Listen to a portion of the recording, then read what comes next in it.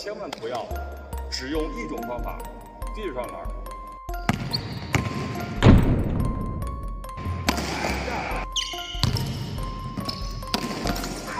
刚才这种场景呢，是前锋队员突破到篮下，面对中锋补防来进行上篮的一种动作方法。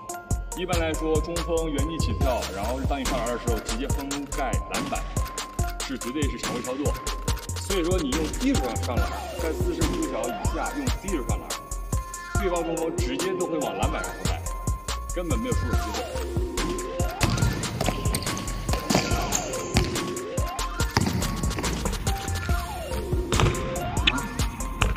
上摇球的好处呢，就是当对手来进行封盖的时候，可以用辅助手来进行隔开防守，用你的投篮手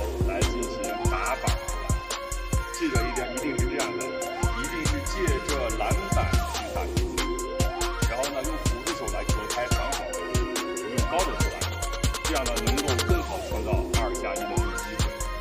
而用低手投篮，除非是你已经超过防守率